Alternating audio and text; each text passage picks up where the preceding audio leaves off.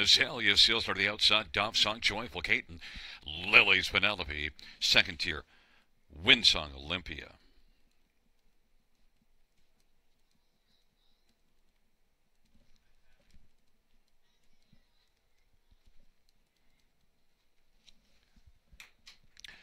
Field for the fourth race is at the start and they're off. So long, Sugar leaves well.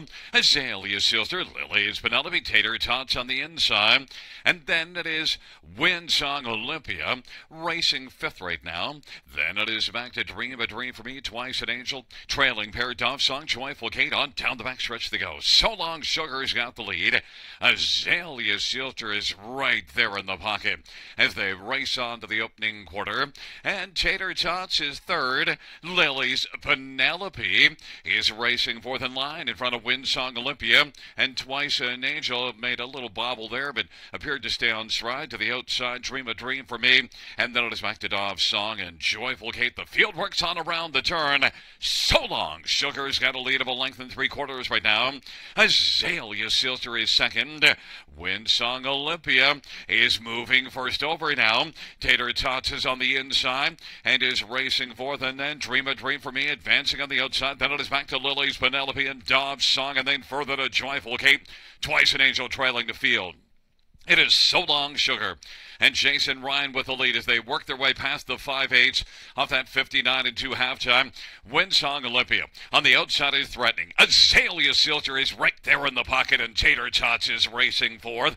Dream a dream for me.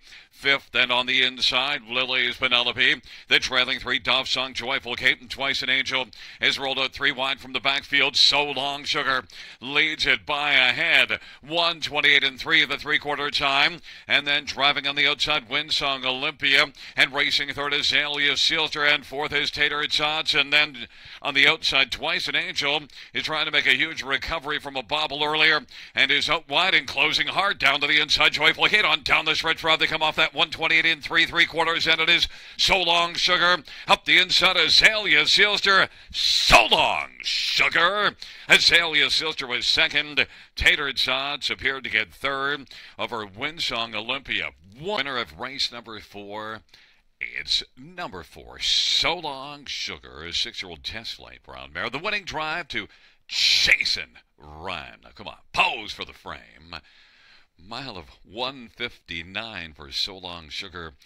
Trained by Rebecca Geisel, who's also the owner, along with Audrey Geisel. Sixth win for So Long Sugar, 30th lifetime.